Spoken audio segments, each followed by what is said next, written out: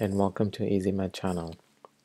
This week we will look at how to interpret a graph. Specifically we'll focus on bar graph um, and we'll look at an example to understand what does it mean when I say bar graph and we'll look at a couple more examples along with questions and how do we you know answer those questions based on certain bar graph. So a graph, or in this case a bar graph, are useful ways to display information or any given set of data. Now a bar graph, as you can see here, it, it uses bar. So as you can see, all of these bars, that's why it's called a bar graph, compares say different things. So it could be, in this example, it's it, it, it's comparing pies, different kind of pies between boys and girls. It could also be used to compare different places or different things. And the bar could be either horizontal or vertical. In this case, it's vertical bar, but we will go over some examples where we'll see horizontal bars. And each bar, if you look at these, each bar, it represents a number. So in this case, this bar, this bar represents uh, let me reduce the width of my pencil. So this bar represents 12 which is 12 number of students. So and it's easy for I mean in terms of in terms of any graph or bar graph it's just easy uh, to kind of look at it visually um, and we can compare different characteristics or compare one bar to the another bar and usually you'll see if there are like multiple bars so in this case there are two bars uh, each bar will have a different color so it's easier to kind of distinguish between uh, different group. So in this case red is boys and and this checkbox with the blue color is for girls.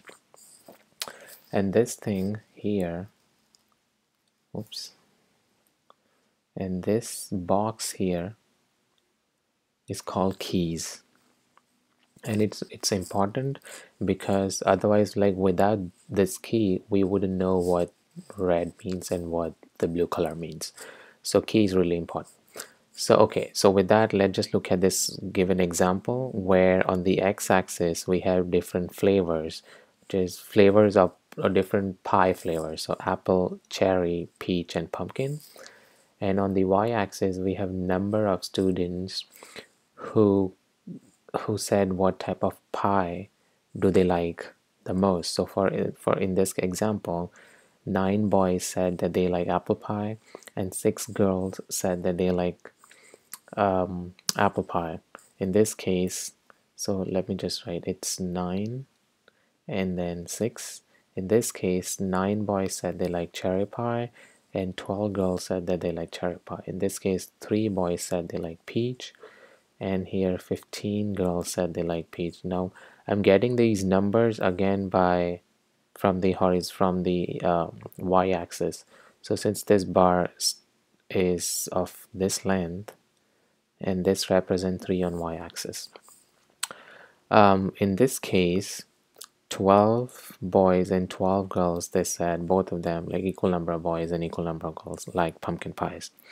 Okay so in total we have around 78 student.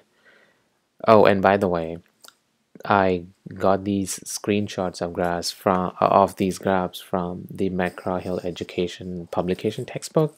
So I'm just using those the graphs from the textbooks. Okay so going back to our question. So let's say in this case we had 78 students and if we want to say that how many students in total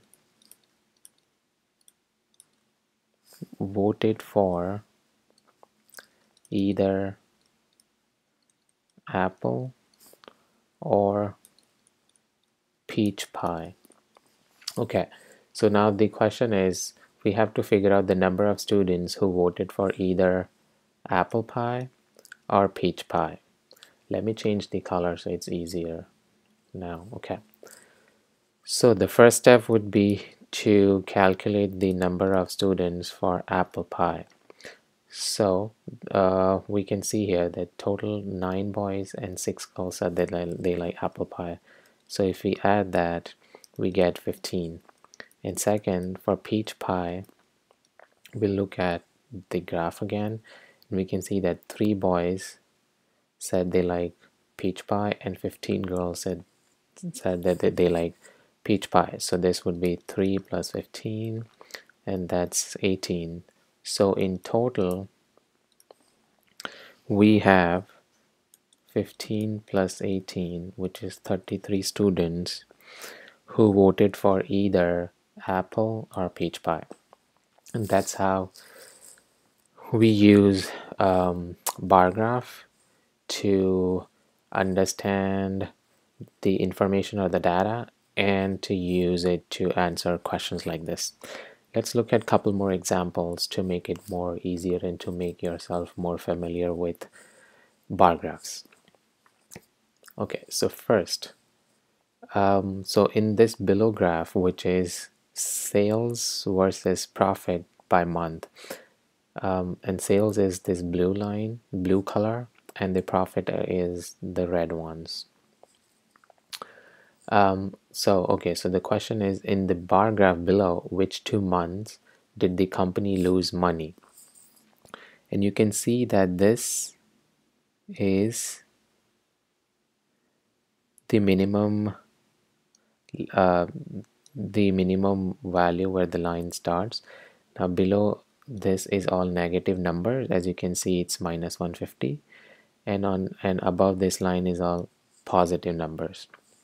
So um, when it comes to lose money that means it's asking for negative profit.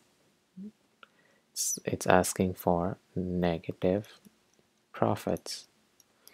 So if we look at this graph again this is all month and on the y-axis we have values in dollars. So this is two dollar this is 154 dollar 306 dollars and so on and so forth. And and below this is negative amount. So this is negative 150 dollar. So if we look at it we'll have to find out that which two month where the profits negative. So in this case would be which two month where the profits below this line. And we can see that this is first and this is second so the answer for this would be April and May. So these were the two months where the company made um, negative profits or we can also say that in the month of April and May the company lost money. Okay, so let's look at our second to last example.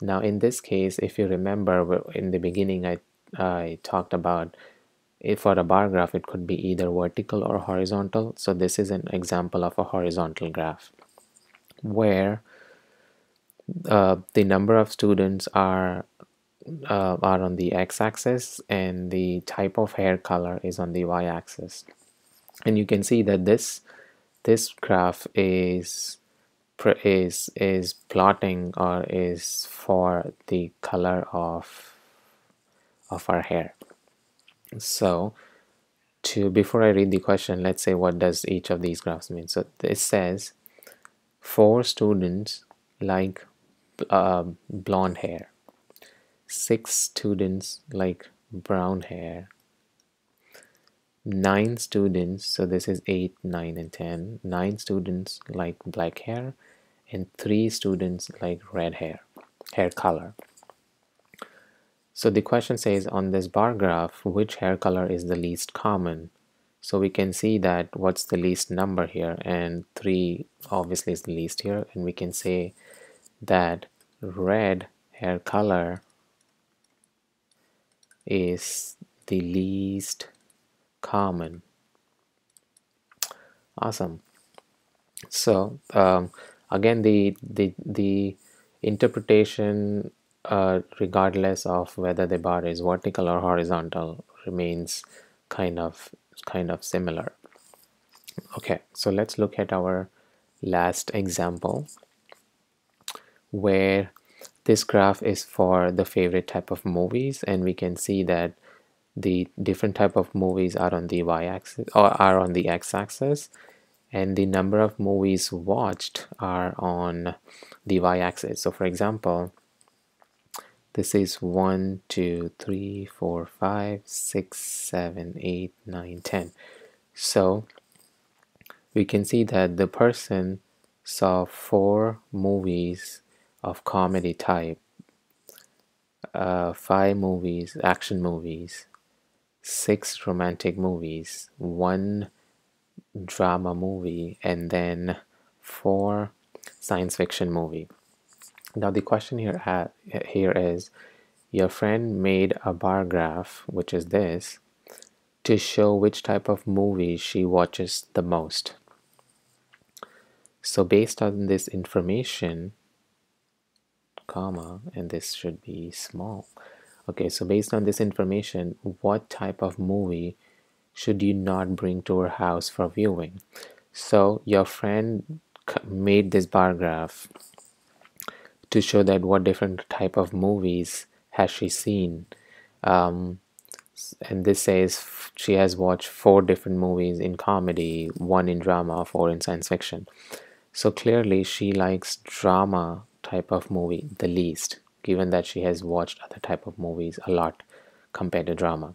So the question says based on this information what type of movie should you not bring to her house for viewing now since it's clear that she doesn't like drama movie you shouldn't bring drama any movie that that is of type drama to her house for viewing. So the answer for this is drama movie. Great. So I hope um, these examples were useful to make you understand what it means or how do you interpret um, a bar graph and how do you use a bar graph to answer different questions. So I hope this video was useful. And if you like this video please subscribe to my channel easy math and please leave your comments below. Thank you